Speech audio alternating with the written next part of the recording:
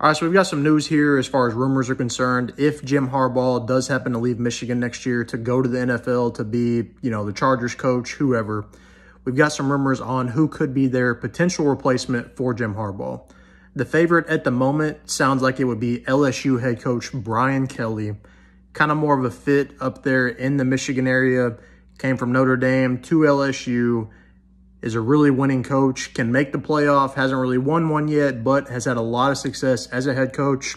Would be an interesting fit at Michigan. Can probably do worse than that for sure, but this is all dependent on if Jim Harbaugh, Jim Harbaugh does happen to go to the NFL. What do you think of the fit of Brian Kelly at Michigan? Let me know down in the comment section. Subscribe for more.